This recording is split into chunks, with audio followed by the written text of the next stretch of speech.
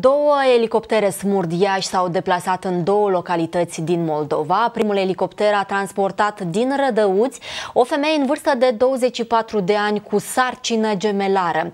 Pacienta a fost transportată la maternitatea Cuzavodă din Iași. În celălalt elicopter au fost transportați trei pacienți din Piatra Neamț.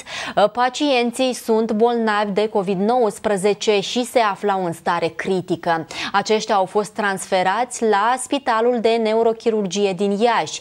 La Piatra Neamț, o autospecială de terapie intensivă mobilă și o autospecială de transport personal și victime multiple a asigurat transportul a doi pacienți uh, de la Spitalul de Urgență Piatra Neamț la elicopter. Al treilea pacient a fost transportat de către un echipaj de la Serviciul de Ambulanță.